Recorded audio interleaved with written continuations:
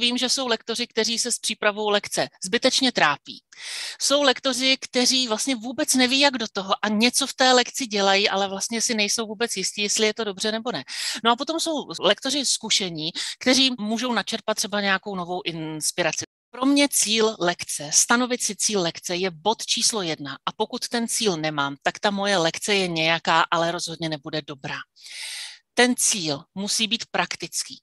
Já musím umět na začátku lekce studentovi sdělit, co se naučí. Jakmile tu lekci takhle uvedu, tak to znamená, že mě to velmi ovlivňuje při té přípravě pozitivně. A ten student teda ví, co se celou tu dobu bude dělat. To, že je ten cíl praktický, poznám taky podle toho, že to na konci můžu ověřit. Dosáhli jsme toho cíle v té lekci a teď se pojďme podívat, jak k tomu cíli můžeme dojít. Metodika, to znamená nějak tu lekci uchopím. Druhým krokem je rozdělení lekce na jednotlivé části. Pak to všechno dáme dohromady do toho konkrétního plánu jedné konkrétní lekce. Elicitace, to je velmi efektivní způsob, jak učit. Dokázal by to někdo definovat? A je to vyvození z něčeho známého, aby si přišli na něco nové? Přesně tak. Taháme ze studenta všechno, co umí a současně eh, mu budeme dávat takové otázky a tak ho budeme navádět, že on si na nové věci vlastně s naší pomocí přijde sám. Nebojte se elicitace, byť na začátku třeba než my se to naučíme a než, se to na, než na to naučíme studenta, to může trvat déle, než kdybychom mu něco jako takhle vysvětlili tím klasickým výkladem frontální výukou. Ale je to mnohem efektivnější a pokud si student na něco přijde sám, tak to, že si to zapamatuje, má mnohem vyšší šanci, než když my mu to prostě naservírujeme na podnose. Rozmyslím si, jestli budu pracovat s učebnicemi nebo s vlastními materiály.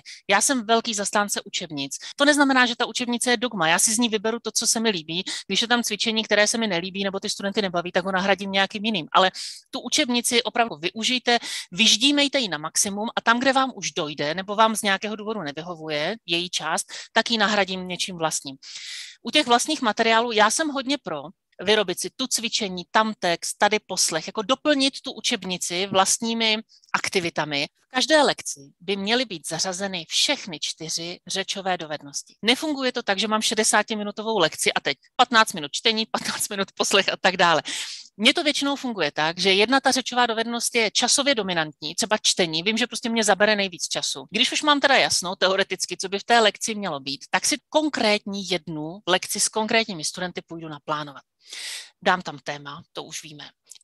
Určím si cíl, Dobře si rozmyslím typy aktivit. Jakmile vidíte, že už si píšete šesté cvičení z učebnice za sebou, tak už bych se zastavila, někde bych to rozdělila a zařadila bych tam něco jiného, aby to nebylo monotónní. Jakmile jdete dělat něco nového, sami si to vyzkoušejte na sobě nebo s kolegou, s někým z rodiny.